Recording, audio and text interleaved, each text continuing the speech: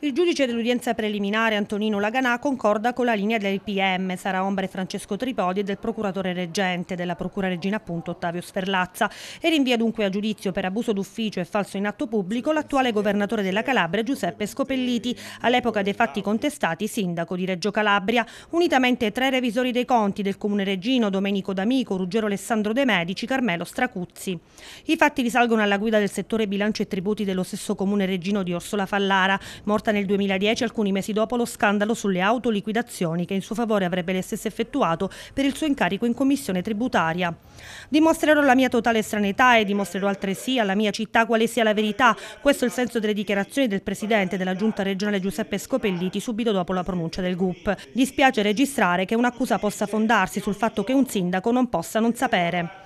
Ha incalzato lo stesso Scopelliti che non si è sottratto agli interrogatori della procura in cui ha fornito la propria versione dei fatti dichiarandosi sempre sereno e fiducioso. I tre revisori dei conti invece si sono avvalsi della facoltà di non rispondere.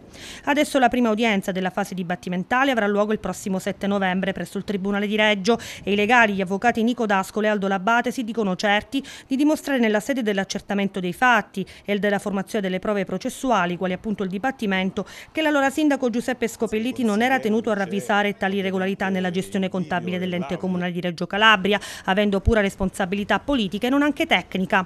Adesso un processo accerterà le responsabilità e al suo termine solo allora si avrà la sentenza.